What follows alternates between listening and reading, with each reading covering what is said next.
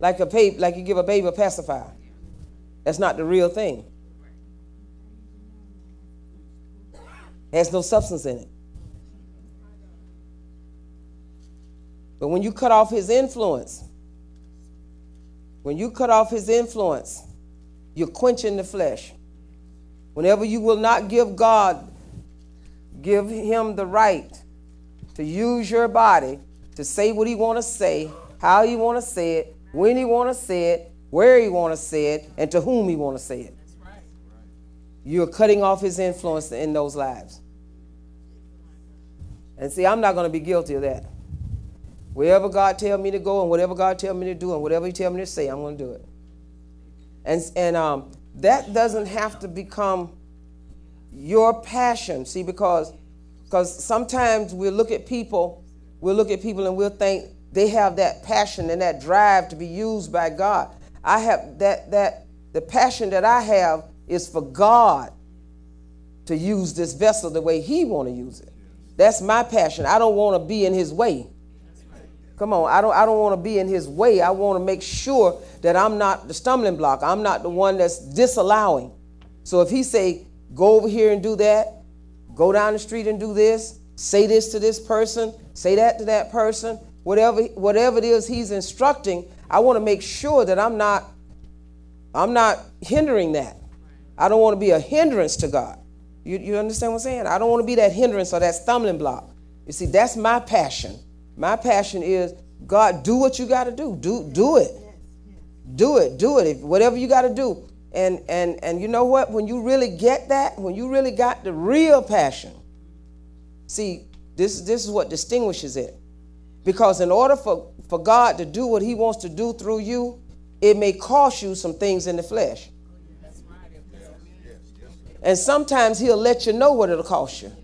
He'll let you know some you're gonna you're gonna lose some things in the flesh. I'm gonna strip some things in the natural from you. Glory to God, in order for me to do this or do that, it's gonna cost you something, it's, or it's gonna put some discomfort on flesh in some way. He'll let you know that up front just to see if you're gonna do it. Are you gonna do it now? Now that you know it's gonna cost something, now that you know that it's gonna take you out of your comfort zone, will you still obey? He'll let you know. See? And my passion is this I don't ever want, I don't want God to tell, show, he can show me, glory to God, okay, if you go, if you go down there, if you go back to Jamaica, they're going to kill you. But I, I need you to go. I'm going. My passion is not to be a hindrance. My passion is to obey God, not to exalt Mary Banks, because he just let Mary Banks know you're at the end of your days. you know, he would have let me know that I'm at the end of my days. But that but my passion is to obey. What, what good would it do me to live another 10 years in disobedience? Ha, having, having disobeyed. Huh? Just like Israel did. He told them to go to go go go into the promised land. They talking about this, they, they send spies over there and talking about, well, yeah, but it's giants over there. And then two years later, they decided they would go. And God said, No, you didn't go when I told you to go. So you won't be going at all. So those guys, every, every one of them died in the wilderness. Stayed out there 38 more years and died. The kids went in. They couldn't, they wouldn't even, they, they forfeited that right. So every time we deny Christ, we walk in a spirit of Antichrist. What am I saying? Am I saying that the devil comes in? No. You become like him. He don't come in, he can't get in here. But you become like him. You take on his mindset. You take on his attributes. He's antichrist. He quenches Christ. He does, he does not want Christ to operate. And so when, when we don't allow Christ to operate, we take on a mind of Antichrist. Are you hearing God? Amen. Praise the Lord. Are you learning? Amen. So we're not in the flesh, but we're in the spirit. Do we have that? Do are we getting that? I'm going to drive that home, saints. I'm going to keep. I'm drilling you on that now. Amen. If the spirit of God is in you. And if he's not, then scripture say you're none of his. You're none of his. Look at Galatians 5 and 25. What did it say, Jim? Galatians 5:25. Mm-hmm. If we live in the spirit, let us also walk in the spirit. Now he's saying if we live in the spirit, if we live in the spirit, then we ought to walk in the spirit. Now notice what he's saying. He's saying you live right here in the Holy Ghost. This is where you live at. He said, now if you living right here in the Holy Ghost, then you ought to be in submission to God. You ought to be in submission to the Holy Ghost, because that's where you live. You ought to be in submission. We ought to be willing to obey Him, right? You got that? You ought to be willing to obey Him. So, what is happening if I'm living in the Spirit, but I'm not walking in the Spirit? What's going on? I live right here. I'm in the Holy Ghost, baptized, submerged in Him, buried in Christ. You would think that it wouldn't be any problem for me to walk in the Spirit.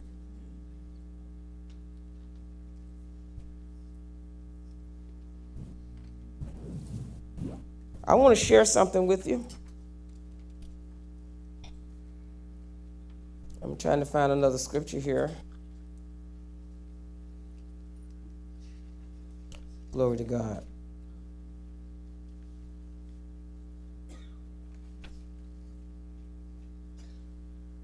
Oh, I know a good one. Um, the new man. Find me that scripture. Where we put him on. I want to show you something. I want to, I want to, I want to show you how to connect these dots here. You guys can sit a minute. I want to show you how to connect these dots.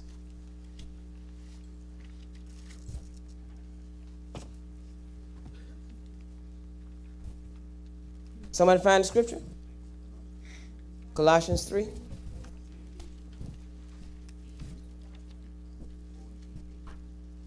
Ephesians 4.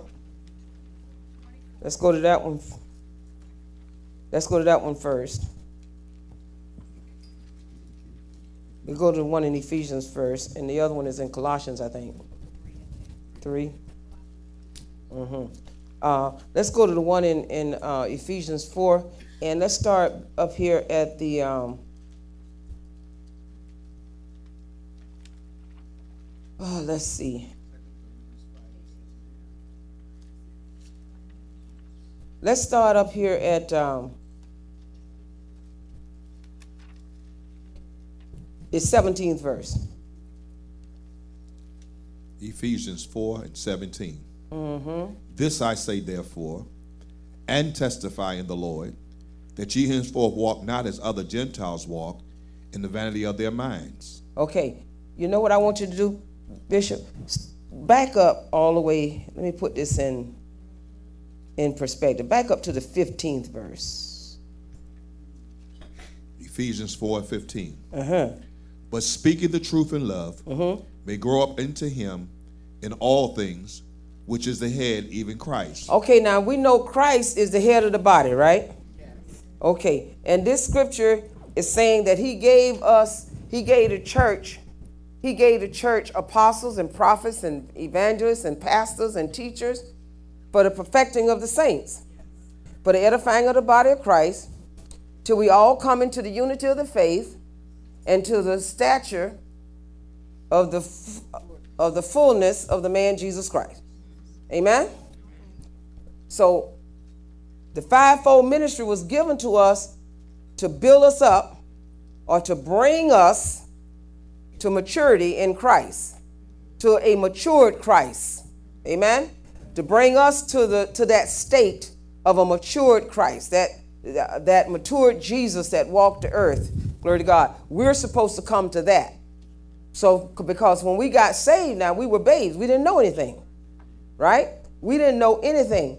But now, glory to God, we've come to a place through teaching. We're supposed that's what the, the fivefold ministry is supposed to do. It's supposed to teach the saints. The apostles are supposed to set the boundaries of the faith, pour the mystery of Christ into the church. The pastors are supposed to take that word and piecemeal it, take it and, and give it to the congregation. The teacher is supposed to piecemeal it. The evangelist is supposed to take it out and compel them to come. And the prophet is supposed to confirm it. So all of those gifts were given just to build God's house, build him a people. Are, are you hearing God? Amen. Amen. So now, according to this, according to this, when we grow up into Christ, we'll speak the truth in love. Hmm? We'll speak the truth in love. Glory to God.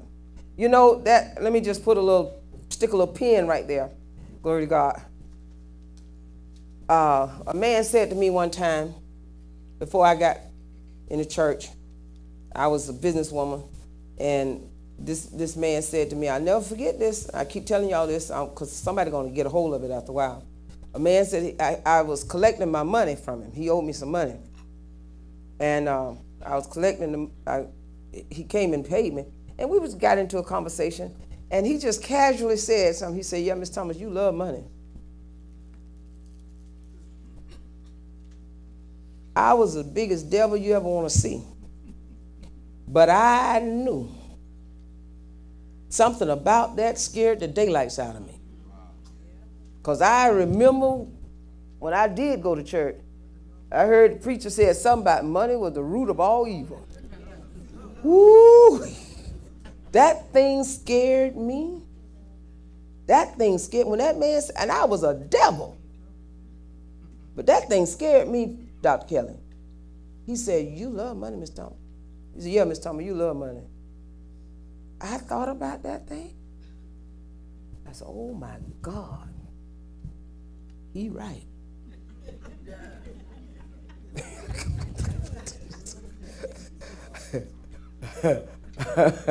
I didn't say it to him, but I sure said to myself, that man is right. And when he left, and we just, you know, he continued on with his conversation. I don't know what else that man said after that. I didn't hear nothing. All I, all my mind was on, you love money. God gonna kill you. You going to hell because you love money. That's all I can think about. You love money. You going to hell because God done said it's the root of all evil and you love it. Oh my God, that thing bothered me. Oh, whoo. Glory to God, my heart just went to palpitating. And I mean, I was a sinner, saints. But that thing about because see, I met God when I was nine years old, and I I, I was I, I I knew that preacher had preached that thing. Glory to God. And I'm like, God, the love of money. So when he said that, even as a sinner, as a sinner, I knew it was the truth. I knew it was the truth. There was nothing, I had no rebuttal. What, what am I going to come back with? You know, I could, you know, I can sit there and make a case or, you know, but it was a, would have been all a lie because it was the truth. I loved money. Hello. And when you love money, it manifests. I don't care who you are, it manifests. If you love money, it manifests. Amen. And this devil, this other devil, because both of us were devils. the devil know the devil. Amen. So he was talking about what was his. That devil was pointing out the devil in me. Amen. Because I had his attributes in me. And that thing bothered me. That thing bothered me, saints. That thing bothered me. Because it was the truth. It was the truth. And you know what? Let me tell you something. Let me, let me, just, let me give you a, a, a, something that may help you get to heaven. When somebody says something about you, if it's the truth, it might hurt your feelings. It might embarrass you. But as far as God is concerned, your feelings and your embarrassment are insignificant. All God is dealing with is is it the truth? Is that right, prophetess? Amen. All God is dealing with is is the truth? Hmm? When Jesus said to those apostles, he said, he said, Get behind me because you, you always savor the things that pertain to men and not those things that pertain to God. Then when he looked at the apostles one day and said, Oh, ye of your little faith, your, your perverse generation, how long must I suffer you. I'm sure that hurt them guys' feelings. they, you know, they the man. They with him. You know, we the man. We with the man. And he rebuked them in front of the whole multitude. Tell me, why couldn't, why? The man told him, the man walked up there and said, your, your, your disciples couldn't cast the demon out. Your disciples. Your disciples.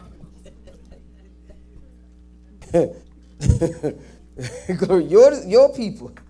The one that, that you, you claim you gave power. They couldn't get him out. And Jesus turned right around, looked at, looked at those disciples and said, You perverse generation. How long must I suffer you? Huh? Then they gonna sneak around behind his back, behind the back of the people and say, uh, "Why couldn't we cast him out?" he said, "Because of your unbelief. Because of your unbelief. Because of your pride. My daddy done took the power that I gave you from you." Because he gave him power over all the power of the enemy. He didn't say some of it.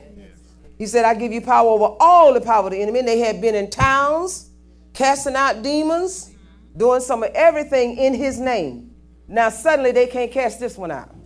Why? Because they had gotten exalted. And if you read those first, those chapters leading up there from the third up to the tenth chapter, you'll find out that you see the areas where their pride was exalted. They were exalting. Oh, here come this woman. She, she crying after us. The woman ain't said nothing about them. The woman said, Jesus.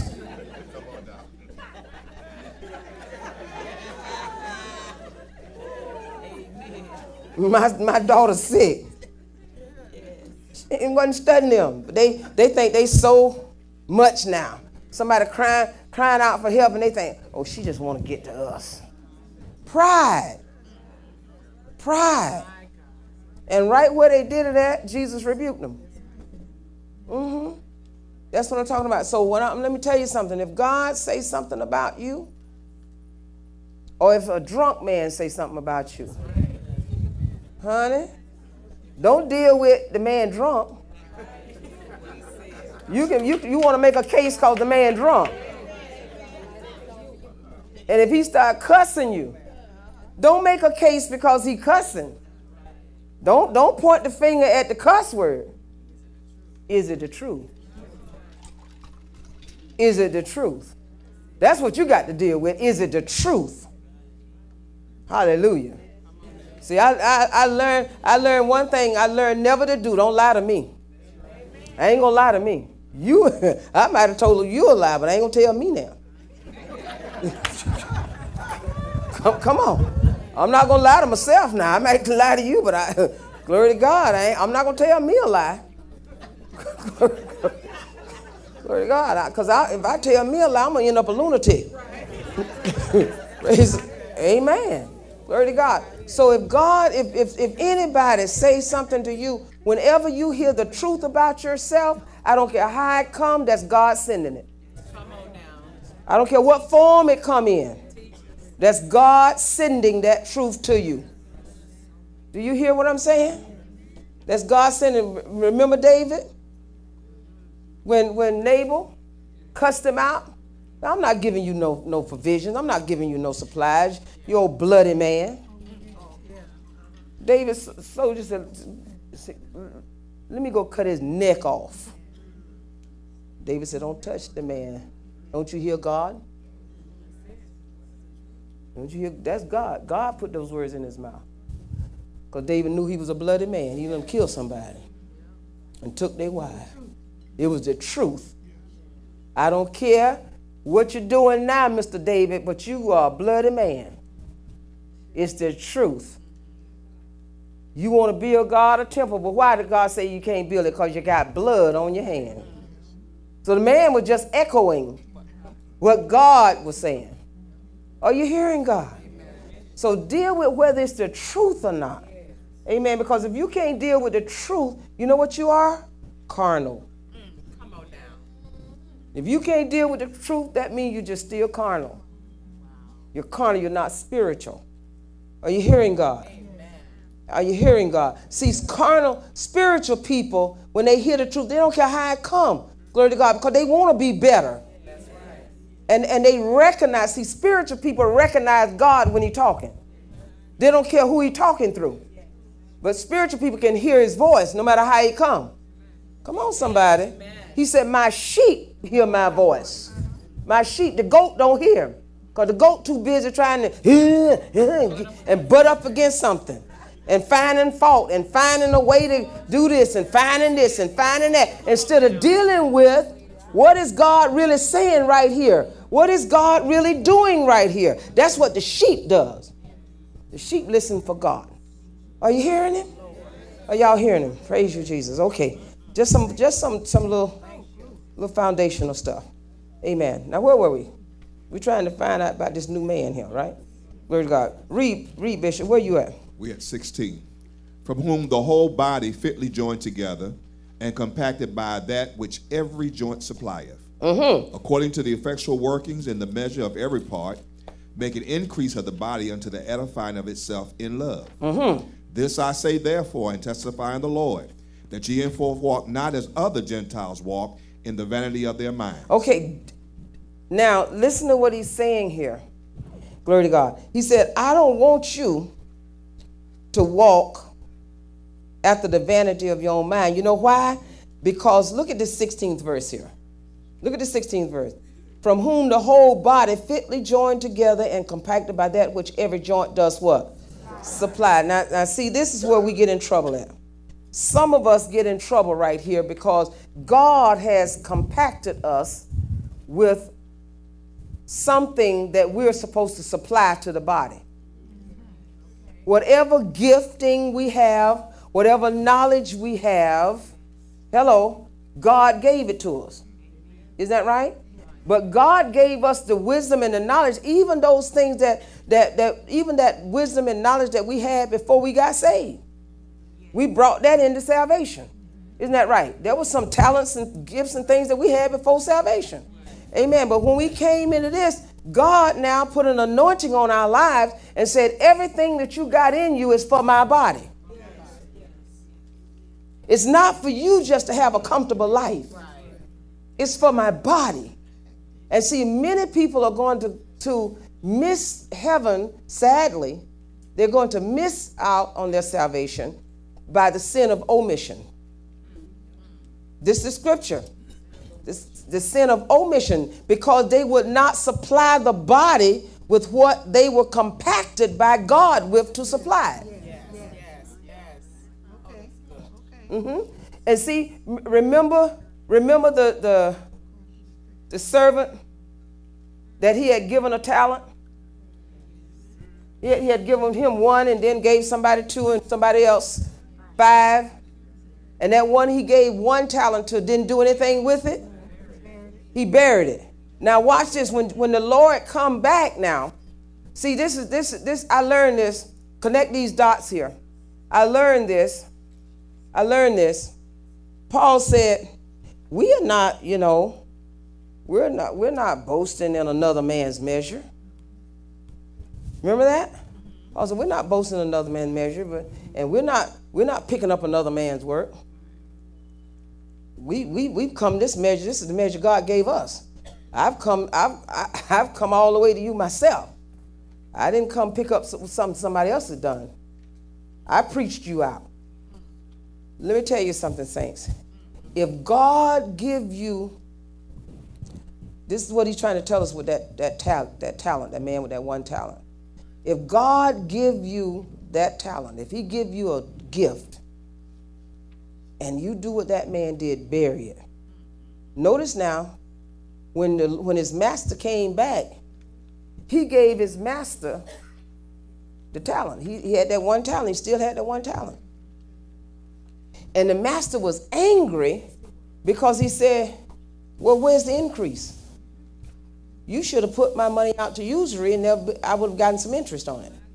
Where's the increase? Where, where, where?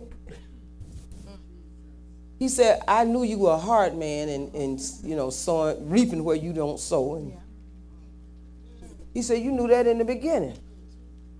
He said, You what, what, what? He said, You just slowful. See what he said, and you know what he said to him? You know what the man said to Jesus? He said, So I, I, I'm, I'm giving you what belonged to you. This is what you gave me, and this is what I got. I'm giving it back to you.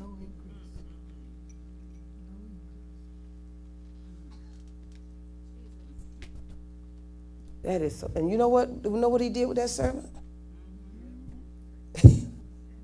he put him into. He said, "Take him and get and let him have his part with unbelievers. Put him in the fire with unbelievers." Let me tell you something, saints. When God compact you with gifting, don't you do what you want to do with it. You do what He tell you to do with it. Because you can take that gift and you can do everything you want to do and still don't please God. You got to do what God tell you to do. Not what you done dreamed up of doing. Not what you done had all your, your whole life dreamed of doing. No. You got to do what he say do with the gift. Not what you want to do, not what you got visions of doing, you, not what you got in your imagination to be, but you got to do what he say do. It's sobering tonight, huh? Yes, it is. Amen. Glory to God. Okay, Bishop Reed. I don't want you walking in the vanity of your mind. Having the understanding darkened. Okay? being alien, mm-hmm. being alienated from the life of God mm-hmm. through the ignorance that is in them mm-hmm. because of the blindness of their hearts. See, whenever you don't obey God, you blind. You can't see. You can't see spiritually. See, because the moment you disobey God, you in darkness. And I don't care how smart you were in the scriptures. Because, see, the moment you start making your own way, you become blind to spiritual things.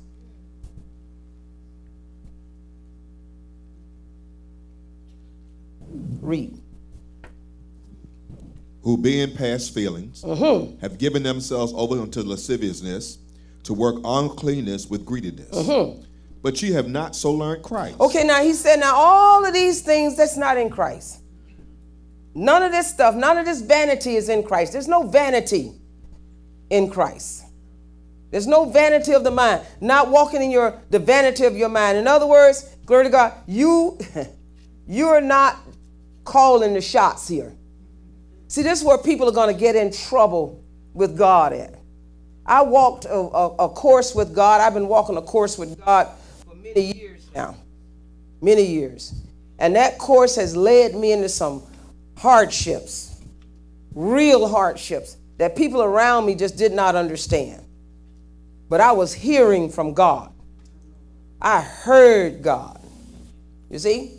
And that and I stayed those courses. I stayed on that course that I was on. And there was some times when I made some mistakes. Made some mistakes. Glory to God. But the main course that God put me on, I always stayed with that. You know how we sometimes pick flowers by the wayside? I, there was times when I stopped and picked some flowers, you know, went over to get some roses, praise the Lord, and until they start sticking me, the thorns start sticking in me, praise the Lord, and I get back on course. Amen. Glory to God. You go. Hallelujah. Thank you, Jesus. Amen. But that course is not always easy. And sometimes it's gonna going to it's going believe me, it's going to take you out of your comfort zone. It's going to it, it when you stay that course that God put you on, see, it has to take you out of the comfort of the flesh before you know the power of the spirit. You'll never know the power of the spirit as long as you're living in the comfort of the flesh. You don't know what God can do. You don't know what he'll do. You don't know how he'll do it. You don't know when he'll do it because you always giving flesh preeminence. Come on, are y'all hearing God? You can't give flesh preeminence and, and follow God. You can't. And if you when you as long as you do, you'll never know the power of the spirit. And I can't even explain it to you. But there's a power in the spirit that supersedes anything that you could experience here in the natural.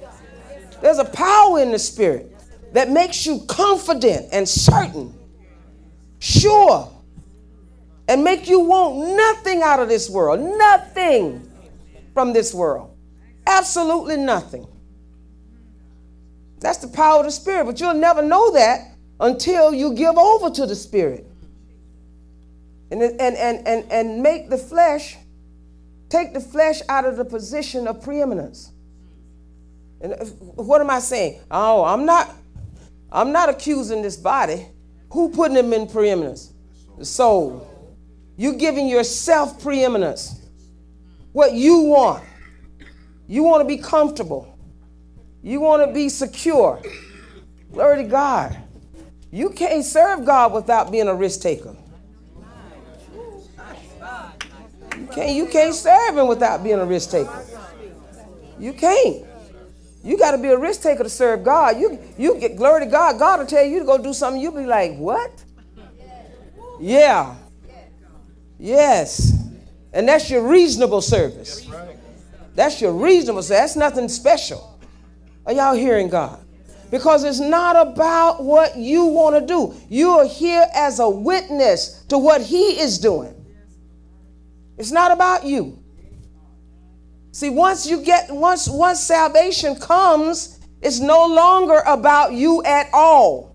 You have no rights. You don't have any rights. You don't call any shots. Are y'all hearing God? You don't call any shots. You don't tell. You don't. You you're not gonna do what? Are you gonna do what? Who told you you're gonna do that? Did God tell you to do that? Is that what God calling for from you? See that see see see that's what's wrong with the church now. Preachers uh, are making it up as they go. They design in their own courses. This is what we're gonna do. This is how we're gonna do it. No. See, because when you when you walk after the spirit, when you walk after the Spirit, you don't have any say so. None. You have no say so. You know what? You know what? You know what I'm standing here thinking now? You know what I'm standing here thinking, Dr. Kelly? I don't want you to get to heaven and God say, Why didn't you listen to what Doc told you? I don't want you to get to heaven and and and and and and, and God say, Didn't you hear what my servant said? Why do you insist on doing things your way? Why didn't you repent at that moment and say, God, take over? Just take over. I repent for usurping authority over your body. I repent for peeping out in the world, glory to God, and, and, and, and going back like a dog to his vomit by, oh, I didn't go back to the club, didn't go back to the drinking, didn't go back to the smoking, but I went back to my way. My way. I don't want I don't want you to get to heaven and God say, Didn't you hear Wednesday night? My Lord Jesus. I was talking to you then. Yes. I was saying repent. Stop living, giving yourself preeminence. You cannot be preeminent and walk after the Spirit. Can't do it. The Bible say deny yourself. Are y'all hearing God? Read, Bishop. If so be that you have heard him Mm-hmm. and have been taught by him, as the truth is in Jesus. Now, he teaching that. He teaching. He teaching right now. Right now, Jesus teaching us. He teaching me. He teaching you. Tonight, this moment. It's the Lord that's teaching us. If you're, if you're not if you're not wise enough, huh, to not see me after the flesh, you'll know Jesus teaching us. You'll know Jesus teaching right now. He said, You've been taught by him. And let me tell you something that I know. I know that God's word don't go out and return void. Somebody grabbing a hold of it. Somebody grabbing a hold of this. Somebody sitting there saying, Lord, I repent right now. Somebody already done repented. Some, someone has already said, Lord, forgive me because I've been taken over. I've been, I've been doing what I want to do. But God, forgive me. Somebody already said that already. Jesus teaching us. Are y'all hearing it? Read, Bishop. That you put off concerning the former conversation, mm-hmm. the old man, mm-hmm. which is corrupt, according to the deceitful lust. Okay. And be renewed in the spirit of your mind. That, now, now notice what he's saying here. He's saying you've already put off the old man. See now, now, now, now, Mr. Soul and Mr. Body. See, before the body, before before salvation, soul was in the body, and the soul, the body was all corrupt, wasn't it? Soul was corrupt, body corrupt. He said, "You put off this, the conversation of the old man. That means lifestyle. You put off this lifestyle of the old man. You put him off. How did you put it off? Because you put him off. You took off. You, hello, he was taken off. Are you hearing him? He was taken off, and you were placed in the spirit. So things have changed. Now there's been a positional change here. There's been a position of change. The old man is dead. He's dead. You put him off. He dead. He can't live no more. Hmm? Now, you know the scripture that said mortify. Mortify the deeds of the flesh. What does mortify mean? And there's another definition too. Keep dead. Keep dead. He already dead, keep him dead. Keep dead. Mortify. Destroy. Totally destroy the deeds of the flesh. In other words, now, don't now,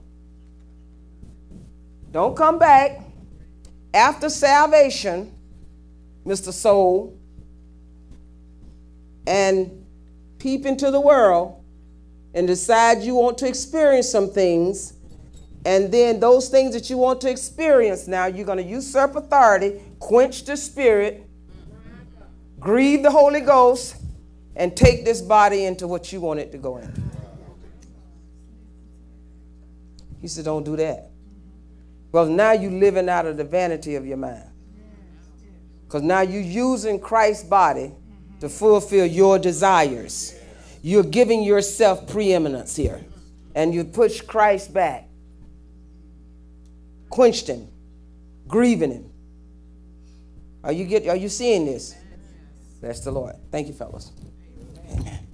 Well, no, just, hang, hang tough. Hang tough. Hang tough. Amen. Praise the Lord. Read, Bishop and be renewed in the spirit of your mind. That's your soul. Be renewed in it. How? Look at that colon there. You see that colon? Yeah. Mm-hmm. That means I'm going to explain to you how. Mm-hmm. Semicolon. This is how you do it. This is how you do it. And that you put on the new man, mm-hmm. which after God is created in righteousness and true holiness. Now, this is what you got to deal with. See, now this scripture right here, preachers didn't preach this to us right. They didn't preach this to us right. They didn't preach this right. Then too many of them preach it anyway. But when it was preached, it wasn't preached like, like it said in here. Read that verse again, Bishop. And that you put on the new man. Okay, this new man, this this new man, remember the soul was taken out of this body? Yes. Hmm? This new man that you put on the new man, which what? Which is created. Which after who? After God. After God. After God is what? Created in righteousness and true holiness. Now watch this. When they took the soul, when Jesus took the soul out of the body, what happened to the body? Thank you, sir. It died. You know, I had a vision. Did I tell y'all about the vision I had of the death experience? Glory to God. I had a vision just before. When was it? When was it, Anessa? It was before we came?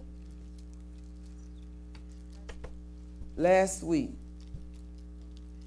I came Monday, so it had to be Saturday or Sunday night, one of those nights. I had a vision, saints. I, something happened to me. wasn't a vision, something happened to me. I laid down. I laid down. I was laying in the bed. And uh, my associate was standing next to the bed. I was in the bed. I was lying on the bed.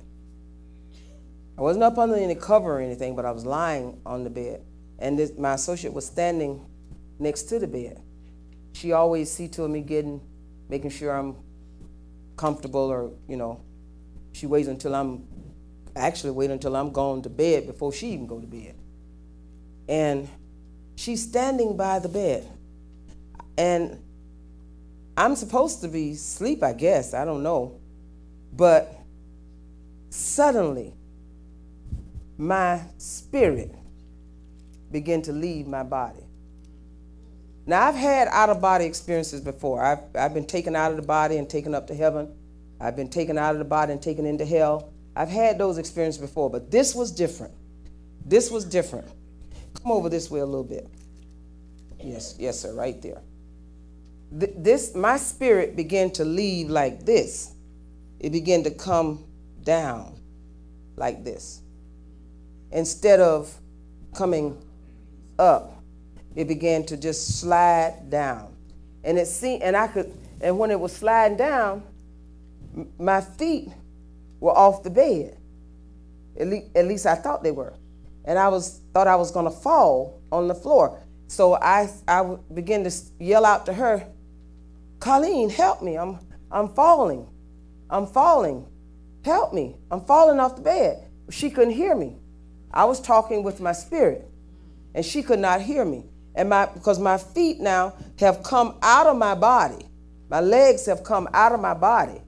The spirit my spiritual legs have come out of my body and they hanging over they about to fall. And i'm thinking i'm falling. And then now so the top of me my spirit was down here in my legs. And i'm like i realize wait a minute something's wrong. And i'm laying there and i'm trying to move my arms, my arm was down downside my body, I'm trying to move, and I couldn't move my arms, and I couldn't move my mouth. And I realized I'm trying to talk to her, but my mouth is not moving. I realized that. My mouth is not moving, and I can't move my, my arms. I can't, I can't catch myself. I can't, I can't do anything. I can't move any of my upper extremities. I couldn't move anything from my waist up. Couldn't move. And, and I'm like, I'm, but I'm falling. Then I realized my spirit was coming out of my body. And the Lord was letting me know. He said, Now, see that part of the body where the spirit wasn't? It was dead. It couldn't move. It had no feelings. It could it had no mobility. It couldn't it couldn't talk. It couldn't see it couldn't do anything. Are you hearing? It couldn't do anything because the spirit had left the upper part of my body and was coming out this way. And she said, she said she looked down at me and she saw something was going on wrong. So she said, Jesus, you she preached that you in this is your flesh, you're in this body, so you need to fix this. And when she said that, I I felt myself go back up in my body. And I went, Ugh. then I could move, I could talk. Are you hearing God? God was confirming this message in me.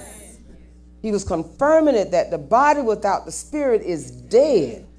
And he wants he wants you to he want me to drive that home to you. So you'll never from this moment on blame your flesh for sin. Because your body is not sinful. Now I want you to read that verse again. And I want you to tell me what it's saying here. Look at this. And that you put on the new man. Who is the new man?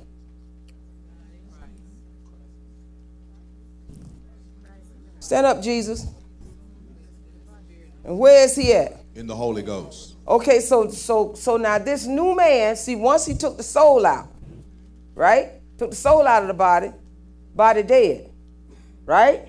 So who gets the body up? Then there's a scripture that said the same spirit, Romans 8, that raised Christ from the dead shall do what? Quicken.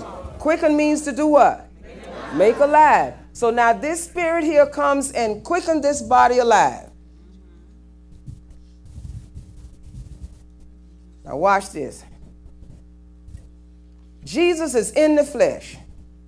That's the new man. Now notice what you just read. Read it again. And that you put on the new man. Now that's the new man right there. Mm-hmm.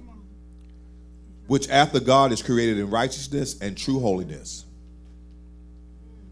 I want somebody that's born again to say, My body is the new man. My body is the new man. If you're born again, say it where the devil get mad. My body. My body. Now notice what he says. It's created what? It's created in true, in righteousness and true holiness. Your body.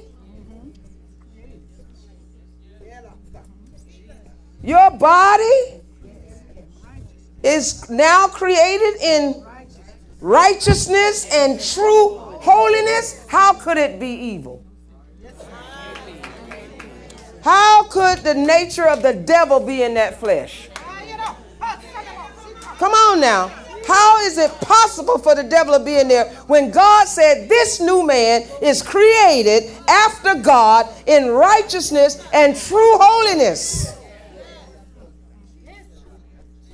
That means your body does not desire any sin.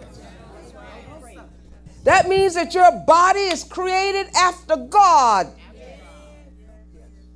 in righteousness. How could it be anything else with Jesus in it? Come on. Are you seeing this? This is the most important thing. Are you seeing this? So, Thomas, you getting this? Brother Thomas? This is important. This is important because th- this right here destroys that false doctrine of dual nature.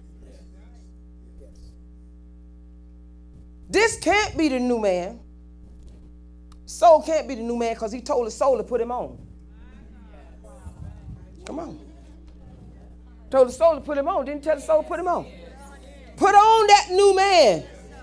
In other words, when you get in here, you stay buried in him. Don't you now usurp authority. Don't you now look out in the world. Don't start peeping. Because when you do, I think I got a scripture in here. Says that all is in the world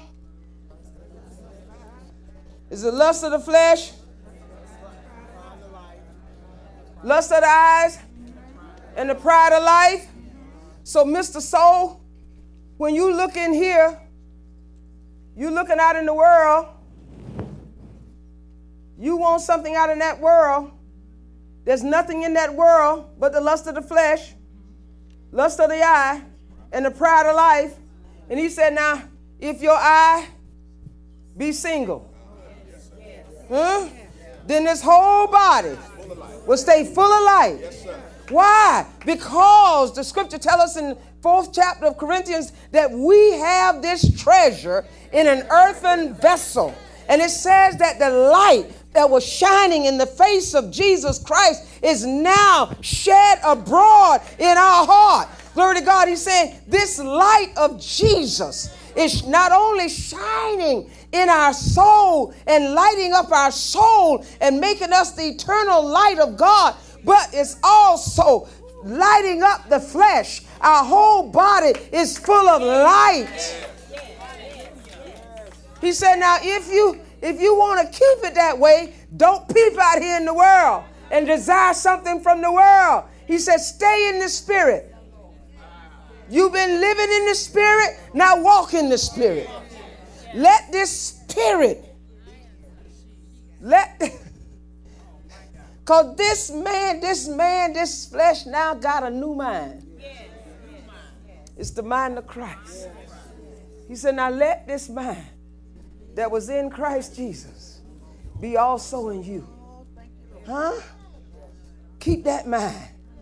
Don't peep out here. Because when you do, he said, if your eye is not single, your whole body is going to be full of darkness. Huh? And notice what he said now. Because, see, with Jesus in us, the body's full of light. But he said, if you if you if, if you look out in the world and you want something from the world, the body now gets full of darkness. He said, and if the light be in you, be dark. How great is that darkness? He said, this light of Christ that's in you, if you now bring in darkness, how great is that darkness?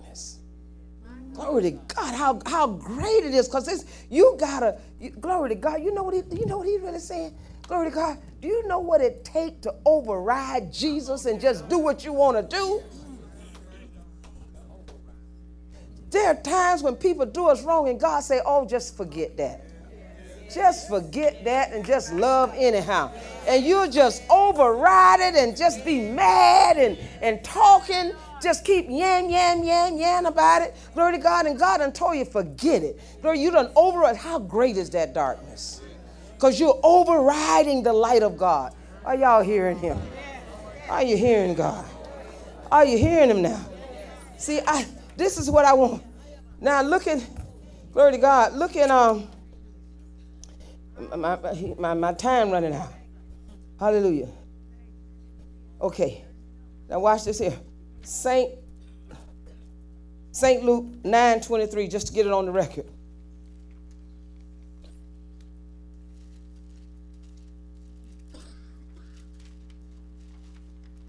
Nine twenty-three. It's on page uh, 10. On page 10 in your book. The last scripture on page 10.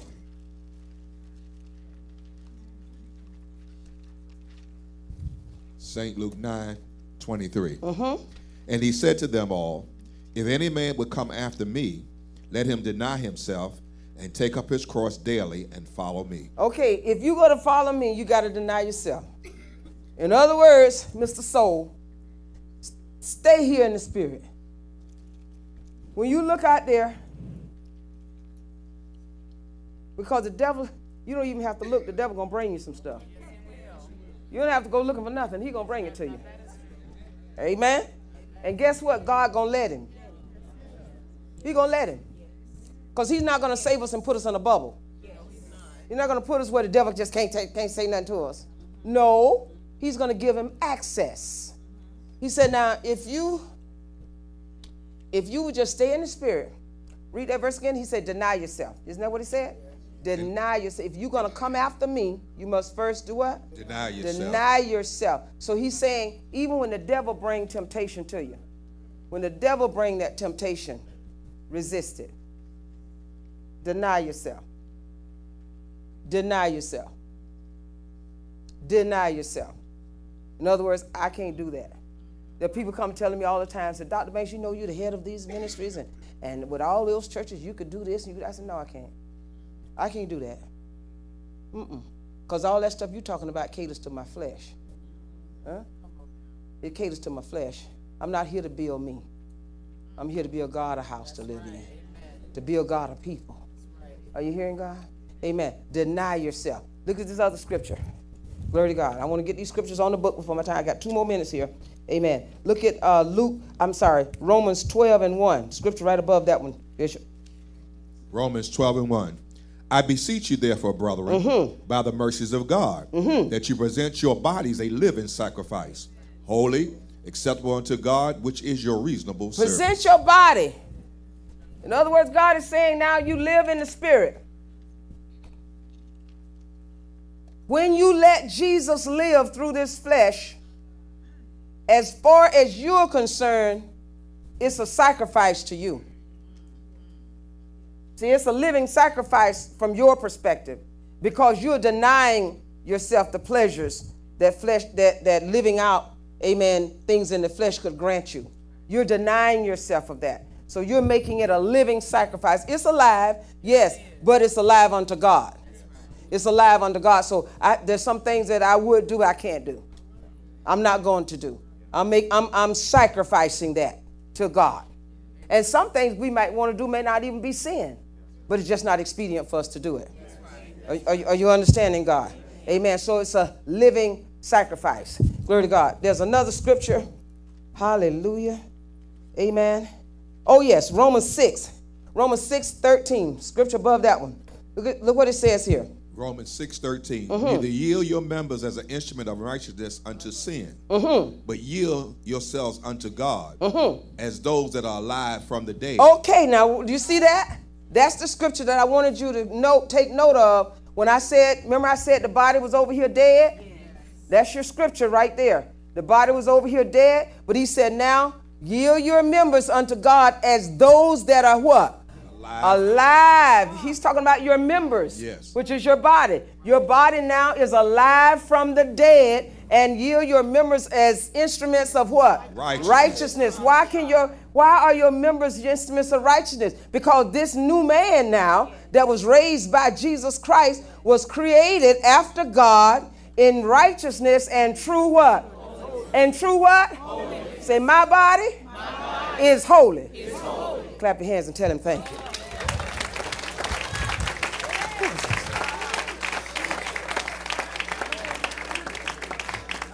Hallelujah.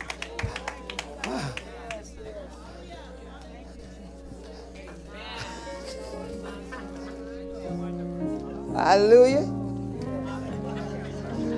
My body is tired.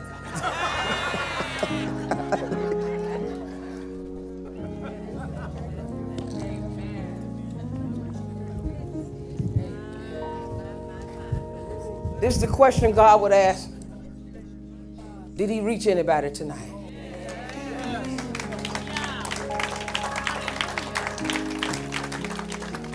Is there anybody that's saying, God, I repent? Somebody might need to run to this altar and say, God, I want to be saved because I, I need that. I don't have. I, I don't I don't want to preach this and don't give an opportunity for salvation. There may be somebody say, I need saving. Hallelujah. And I'm going to get to this altar. I'm not going to beg you to come, glory to God, because if you want Jesus, you'll run up here. Glory to God. Nobody has to drag you. You'll run if you want Jesus. Amen. If, if the word has, has, has, has found you, you'll run. Glory to God. Amen. To this altar and say, I want Jesus tonight. I don't want to leave here unsaved. Glory to God. Amen. I, I just want to be saved. Amen. Glory to God. Thank you, Jesus. Amen. Hallelujah. Glory to God. And there's and there may be somebody else that says, you know what? I need to repent. I just need to honor God. I need to honor God. Let her by, let her by. She wants she wants salvation. Let her by. Glory to God. Hallelujah. Glory to God. Hallelujah. Glory to God. Amen. If you want salvation, come on. Just just get up and come on to this altar and say, God, I need salvation tonight. I need you to save me. I don't want to leave here unsaved. I don't want to go out of this door unsaved. And when you get on your knees, glory to God, can- can I get some ministers to come lead these young people to the Lord here? Praise the Lord. Some of you young ministers, some of you young ministers, come on, uh, Annette. I mean, uh, uh, Daniel, y'all come on. Praise the Lord. Charmaine, y'all come on. Amen. What we got? What we got? Daniel, come take this young man. I need a, uh, Anesta, come take this young lady here. Where's she at? Oh, she got it. Oh, I need this. Oh, Charmaine, come get her. Praise you, Jesus. Amen. Hallelujah. Saints, don't, don't, don't turn it off. Please, please don't turn it off. Thank you, Jesus. Amen. Now, there may be somebody else that's saying, you know, I heard this word tonight, and I need to repent of my ways because I've been usurping authority over the Holy Ghost. And I heard God say, I need to repent. And, saints, let me tell you something. It doesn't matter who you are, you can be ministers, you can be pastors, you can be archbishops, you can be a, whatever you are, evangelists. But if God spoke to you and say you have usurped authority over him by doing things your way or giving your flesh any type of preeminence, then you need to come and repent and say, God, I repent. I give this over to you. I give my heart back to you, God. I let you lead me and guide me. Lord, I'm not going to I'm not going to wrestle with you anymore. But I'm going to honor you by coming to the altar and giving myself over to you. I'm going to I'm going to submit to you tonight. Glory to God. We got time. If you want to come and repent of, of taking preeminence, giving yourself preeminence instead of the Holy Spirit, this is time for you to come and say, God, have mercy on me. Have mercy on me. Because I've thought about myself and what I'm going to feel and what I'm going to do and what I'm going to be. Glory to God. God, have mercy on me. Have mercy on me. Have mercy on me. I don't want to leave here, glory to God, dishonoring you anymore. Glory to God. Gentle Savior, oh Lord, hear my heart, oh cry, oh Lord, why on others thou art calling,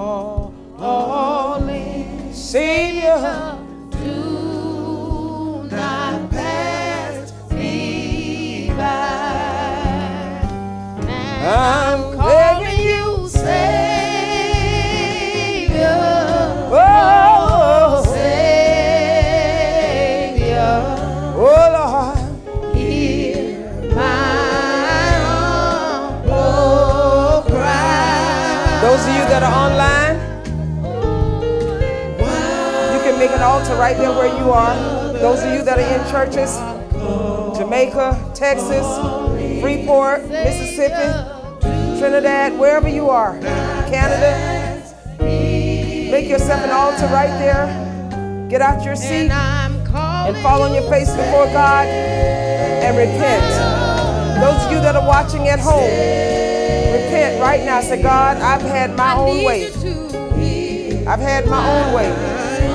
But I repent right now. And I give this body back to you as a living sacrifice. Created it after God in righteousness and true holiness. It's been brought alive from the dead. And God is yours. Use it as you see fit. In Jesus' name. I'm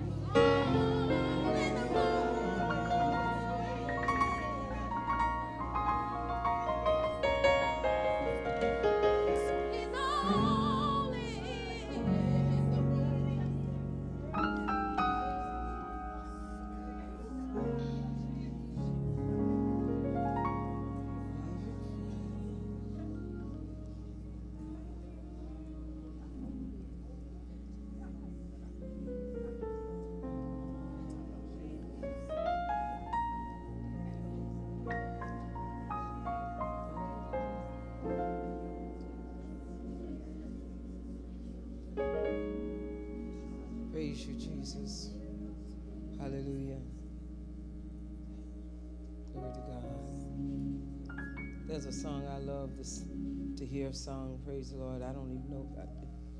It's called Every Praise. Y'all know that? Y'all sing that here? Amen. Then somebody need to sing it.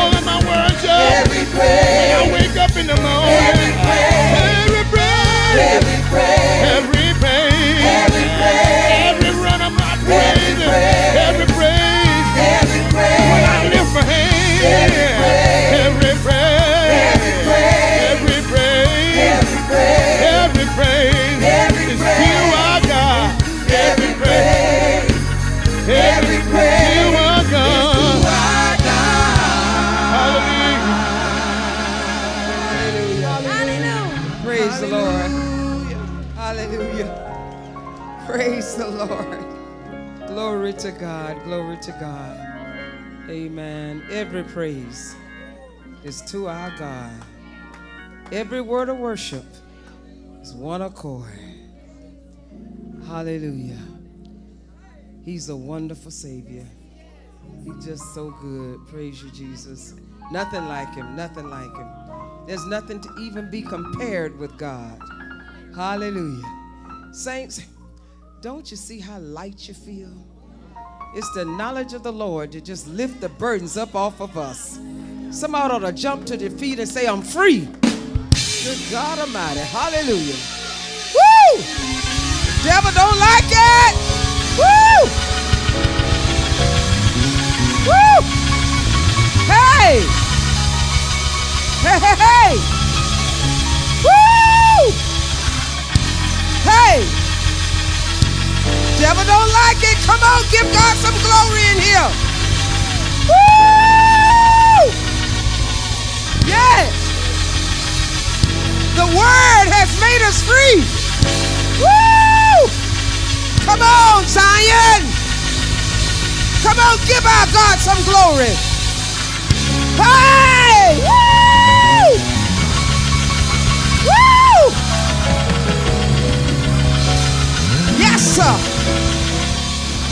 Yes, sir.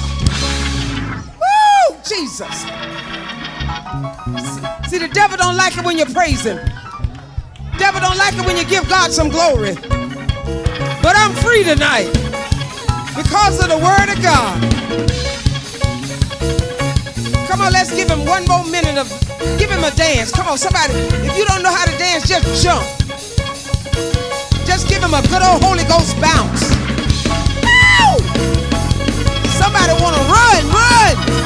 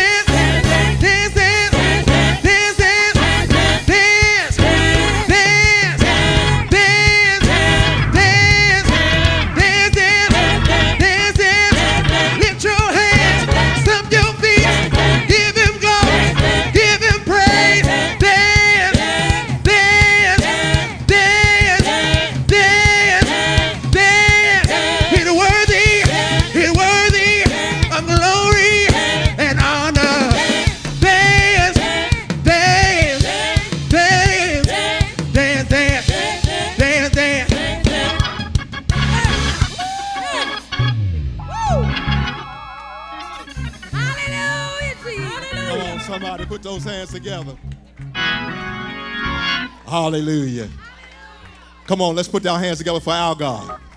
Every praise is to our God. Y'all feel it in the back back there? If you love him, don't you shout out something back there. That's all right. Woo! Hallelujah. Well, it's offering time. Let's see that same exuberance that you had just a few minutes ago. Come on, it's offering time.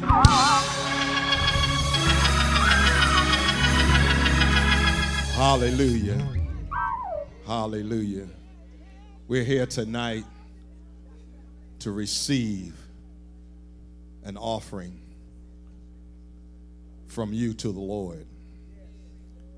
And as we has taken every part of this service seriously, we ask tonight that you take your giving seriously.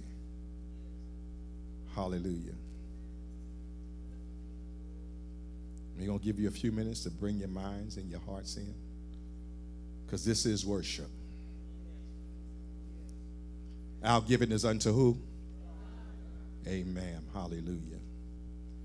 And so we want you to be sober minded that you may have God speak to you what to give. Wasn't the word wonderful tonight? Amen. Hallelujah. Come on, let's give God a hand praise for the word. Hallelujah. And, and, and Tanya, if you would just do something for me, I don't understand about the online giving. So will you just come and do that part and I'll finish up? Amen. Let's receive our Pastor Tanya. Praise the Lord. It's been a good night. Amen. Hallelujah. Those of you online, we want you to participate in the offering as well. Simply click on donations, follow the promptings. If you have been blessed, amen, and if you would like to continue to receive these broadcasts, please help us support the ministry. Click on donations, follow the promptings. Online church, if you're visiting with us for the first time, just click on that button mark donation and follow the rest of the promptings uh, to give your offering at this time. As always, we appreciate your continued giving. Amen. We appreciate your support down through the years. It's because of your generous giving that makes it possible for us to uh, be able to bring these broadcasts to you. Amen. So, those of you online, click on donations, follow the promptings. If you would like to give by credit card, please see Sister Patricia or Annette. Pastor Annette or Sister Patricia. Amen. We thank Pastor Tanya for that. Now, there's some beautiful ladies on the floor in red. They're called hospiticians. And they are here to serve you on tonight. Amen. So if you need an envelope, raise your hand and they're going to make sure that you get one. Please put something in it. Amen. Hallelujah. Oh, I feel like I'm home. Mm. Hallelujah. I have enjoyed myself this week. Uh, Dr. Banks, when I saw you dance, it took me back to the old time church. Amen. I was going to jump at which, but I didn't want them guys to make me sit back down. Amen. This one right here, you pretty big, amen. Hallelujah. But there's a time we used to just praise the Lord. I remember before we even had this kind of word, praise kept us, Tanya. Before we knew how to exegete his word, before God started speaking to us, we, we gave him a praise. And we didn't know nothing else. We knew how to give him a praise. Amen. And now our praise is for real. Amen. Hallelujah. Glory be to God. Has everybody been served that need to be served? Amen. So we're going to follow the protocol of this house. So at this time, we're going to ask our hospiticians if they would assist you in coming around and bringing God an offering. Get a great offering in your hand tonight. This was a great service. It was a great word. It was a liberating word. Amen. Hallelujah. Glory be to God. So we're going to follow the prompting of the hospiticians.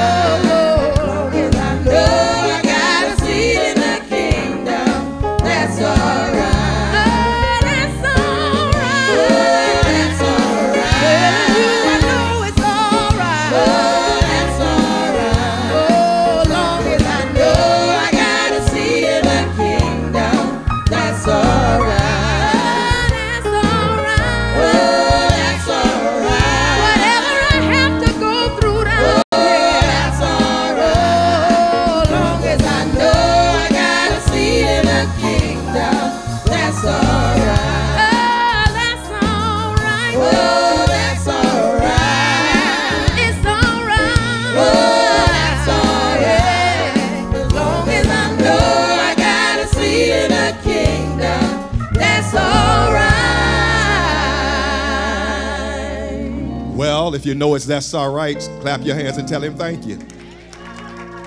Now, I need to ask you one more question before we pray. Is everybody satisfied with your giving? Have you allowed the Lord to speak to you of what you give? Amen. Has everyone been served that needs to be served? Amen. We're going to ask that you lift your hearts up to God. Father, we thank you for these gifts of love on tonight. We thank you, Father, for your people so generously giving into your ministry, into your word, Father. Father God, we ask you, Lord, that you would continue to bless them, God, that they may have seed, God, to give into every offering that you require, Father. Father, we ask you, Lord, that you would open up streams of income and finances, God, that this kingdom that you've given us charge of, that we can build it. And we know your kingdom is people, Father. And we thank you right now in the name of Jesus. If all hearts and minds are clear, one more time, just lift that hands up to God and tell him thank you. Amen.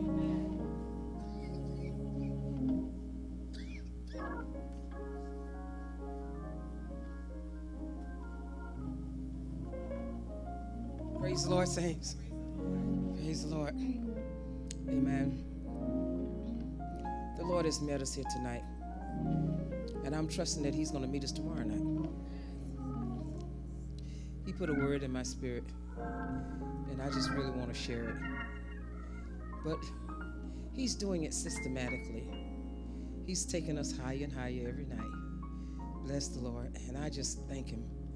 Amen. And I appreciate Him so much. And I appreciate you for receiving His word because it's a dangerous thing to turn a deaf ear to God. Amen. We thank God for, for all of our out of town guests. Amen. Pastor Miles coming all the way from Baton Rouge, Louisiana. Praise the Lord. She has to leave to, tomorrow. Amen. She's an attorney and duty calls. Amen. But one thing I can say that she tries to make every conference she can. Praise the Lord. And glory to God, she'll be leaving us tomorrow. And I think Pastor Ricky and Don had to leave. Amen. Their daughter's birthday is up there in Orlando. So they, while they're in the States, they're going to go up there. Praise the Lord. But I just appreciate those who came from long distances just to be with us. And I'm enjoying, amen, the Rose, praise the Lord. They did an awesome job of hosting tonight.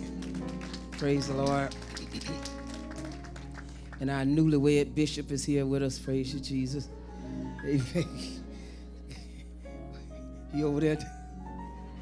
Yeah, he can dance now.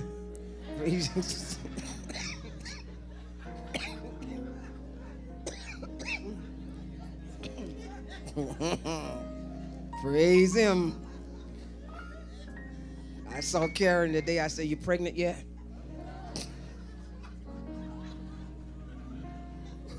Karen said, What? Hallelujah. uh, you know, married people get pregnant. Praise you, Jesus. Hallelujah. Glory to God. Look at her just smiling. Praise you, Jesus. God is just good. Saints, yesterday, things just moving. So sometimes when I'm in the, caught up in the spirit, you forget natural things sometimes. But I think yesterday was Amy's birthday, and we didn't we didn't acknowledge that. Praise the Lord. Glory to God. But Helen, I want to ask you to sing happy birthday to my secretary. Praise the Lord. Amen. Come on, Miss Amy. Come on, Amy. You're special. Come on, let's give God praise for Amy.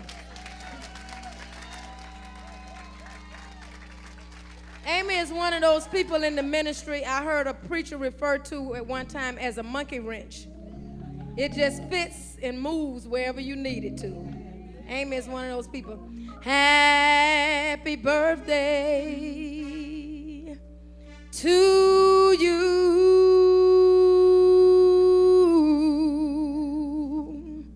Happy birthday,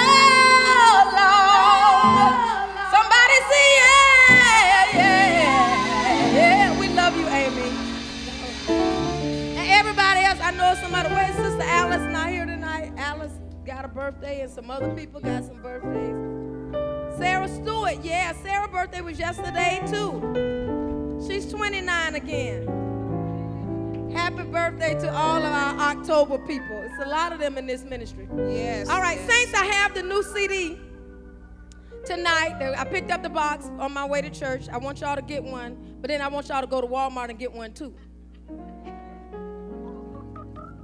So anyway, I just want you to let, let you know I have them tonight. Doc, any more announcements? Anything else? All right, let us stand to our feet. We have been thoroughly blessed. Y'all tried to turn this into a shut-in tonight, but I don't mind.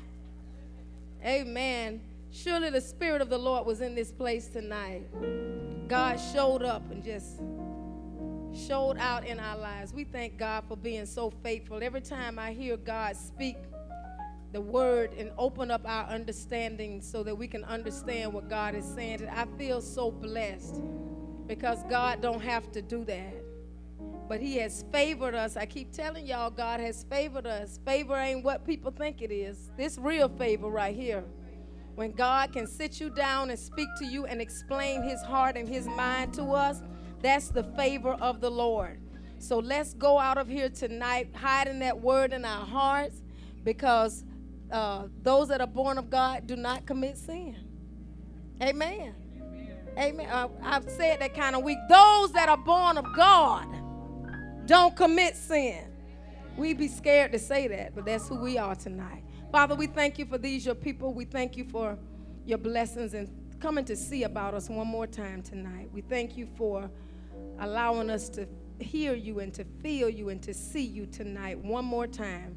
And as we depart from this place, but not from your presence, we pray that the angels of the Lord will encamp about us, give us traveling mercies to make it to our destinations, that we will find our homes in peace. We lift up our apostle before you right now, God, and we pray that you would strengthen her, strengthen her body, God, that she can complete the assignment that you've given her, even on this week, God. Allow your word to flow from her freely, God. Send your word with grace, yet with power, God.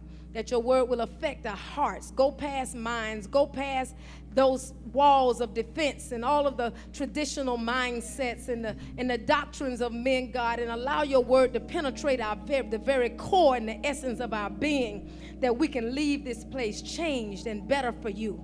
We thank you, God, for your faithfulness. We thank you for your people. In Jesus' name, hug somebody and say, He was here one more time. Praise the Lord. And we will not, the pastoral meeting for tomorrow has been rescheduled for Friday morning. The pastoral meeting for tomorrow, Friday morning at 9 o'clock.